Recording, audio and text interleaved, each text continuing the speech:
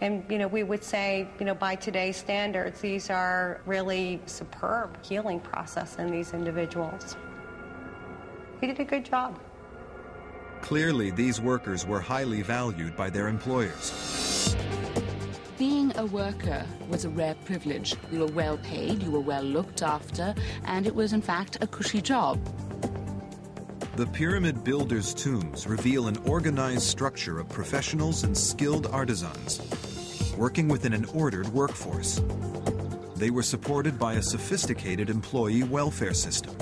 This discovery can prove one important thing that pyramids were not built by slaves. Because the tombs at Giza were of ordinary people, they seem to have been ignored by treasure seekers. It was another tomb kept sealed for 35 centuries, which produced Egyptology's best known discovery. The tomb of the most famous of all pharaohs, Tutankhamun.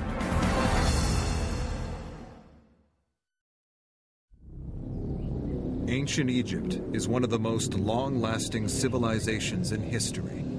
It was ruled over by the most powerful kings. These are statues of real men who were they? What were they like?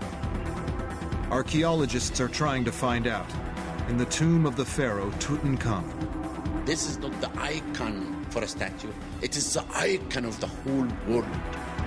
Who was the man behind the golden mask?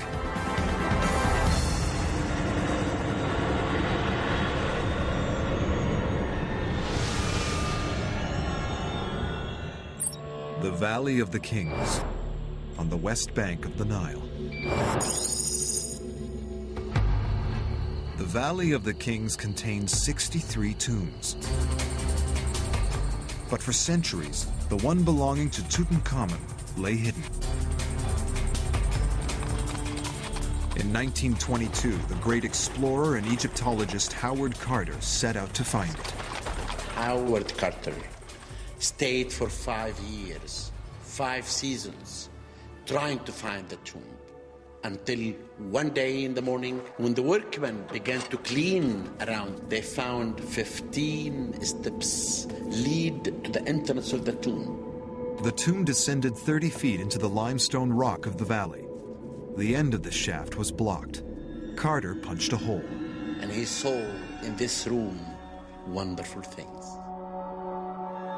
The tomb contained not only the body of the pharaoh but over 3,000 treasures buried with him. Ever since, the tomb has been a magnet for Egyptologists, examining and analyzing the mummy and its treasures. And now, archaeologists can go deeper than ever.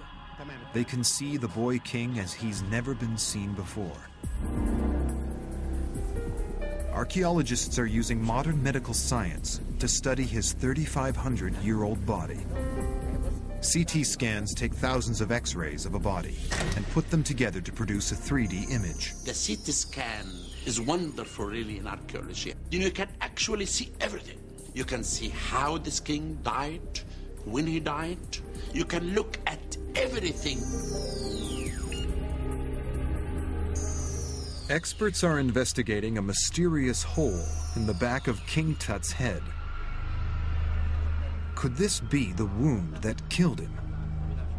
If you look at the skull, you'll find there is a hole in the back of the head. There is a lot of damage to the upper vertebrae, perhaps even the base of the skull, at the foramen magnum, the place that connects. The wound is consistent with damage done in an attack.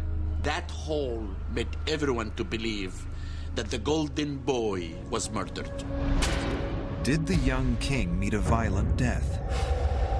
A clue might lie in the ancient process of